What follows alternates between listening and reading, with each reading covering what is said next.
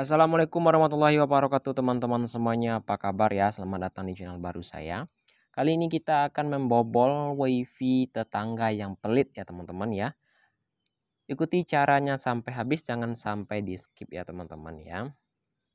Nah untuk cara bobol wifi tetangga sangat mudah sekali ya. Ini syaratnya teman-teman ya sebelumnya sudah pernah uh, terkoneksi di jaringan ini ya syaratnya itu ya. Intinya tergantung dalam versi HP kalian nantinya.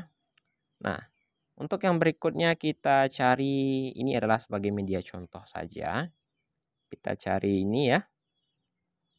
Nah sini kan tidak ada passwordnya mungkin kalian sudah lupa atau diganti passwordnya oleh tetangga kalian. Ya caranya sangat simpel sekali untuk cara cek atau menuyul wifi atau membobol juga bisa dikatakan dengan itu ya.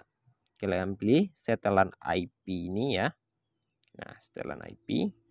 Lalu kalian pilih statik. Nah, untuk statik di sini sudah ada banyak filter pilihannya. Kalian masukkan saja seperti ini. Nah, 192 titik 168 ya. Titik 0 titik 100.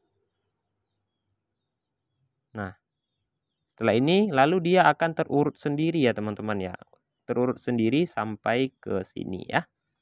Nah, lalu kalian tekanlah koneksi seperti ini, lalu dia akan terhubung sendirinya.